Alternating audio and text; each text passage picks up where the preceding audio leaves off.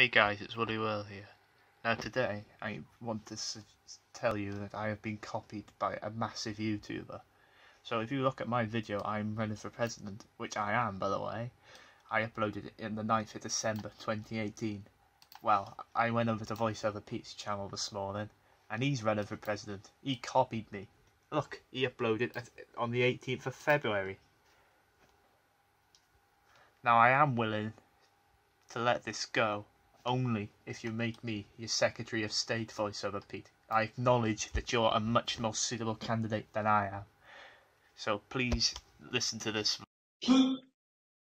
Please subscribe to Woolly Will and Bios Cosmos Church. Have a good day and may God bless you.